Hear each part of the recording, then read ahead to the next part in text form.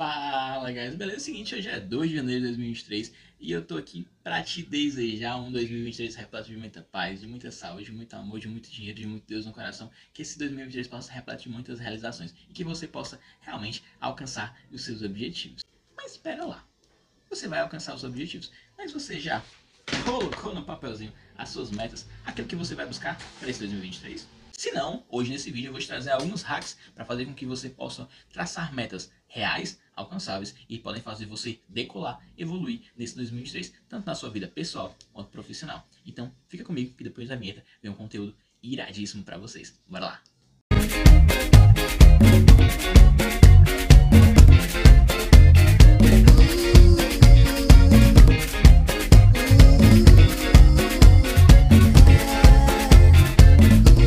Instagram algumas enquetes. E eu perguntei: será que você já se planejou? Você já planejou metas para esse 2023? Esse aqui foi o resultado.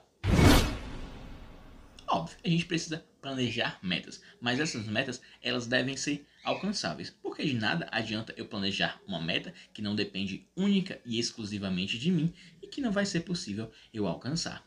Vamos lá usar um exemplo. Se você quer se tornar um bilionário, para você se tornar um bilionário depende apenas de você? Hum, acredito que não. Podem e devem ocorrer várias coisas para que você se torne um bilionário. Ou seja, descobrir que tem um pai bilionário, ganhar na Mega Sena ou alguma coisa do tipo. Cá para nós, não é algo muito fácil de acontecer. Já risca no seu papelzinho essa meta de ficar bilionário, porque não depende só de você. Não é algo simples de acontecer. Fala para mim, o que fez você dar um e acordar para essa nova meta? Por exemplo, se você quer andar de bike em 2023, o que fez você sair do sedentarismo para andar de bike? A sua rotina, ela permite que você ande de bike todos os dias, ou pelo menos naqueles dias que você pretende? Que cá para nós, se você é uma pessoa que trabalha de 6 da manhã às 6 da tarde, se você estuda das 7 às 10, fica um pouquinho complicado para você ter tempo de andar de bike. Não é isso? Último ponto que eu quero trazer para vocês é quais são os benefícios que o andar de bike vai trazer para a sua vida.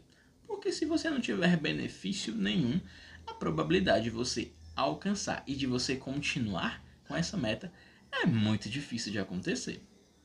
Isso que a gente fez agora se chama hack. É algo que a gente faz para fazer com que as nossas metas se tornem algo mais fáceis e alcançáveis no nosso dia a dia. Isso se chama DRR. Todas as metas elas precisam de uma deixa, ou seja, por que, que eu vou andar de bike? Elas precisam de uma rotina, que a sua rotina permita. Ou seja, eu vou ter tempo para andar de bike e preciso de uma recompensa. O que que essa andar de bike vai me trazer de benefício? Sei lá, eu vou emagrecer, eu vou melhorar minha performance física, eu vou participar de um campeonato. Então precisa ter uma deixa, uma rotina e uma recompensa para que aí sim o campo esteja completo e você possa alcançar melhores resultados. Agora falando sobre o tempo que eu necessito para criar um hábito. Será mesmo que é como muitas pessoas falam por aí, de 21 dias? Depende. O último estudo utilizado por uma pesquisadora norte-americana, ele falou que o poder, que o hábito, ele leva entre 66 e 218 dias. Ou seja, é uma variação muito grande, depende muito de pessoa para pessoa. Mas o que esse estudo pôde concluir é que ver benefícios nessas coisas novas que vocês estão fazendo, a probabilidade de torná-las um hábito é muito grande.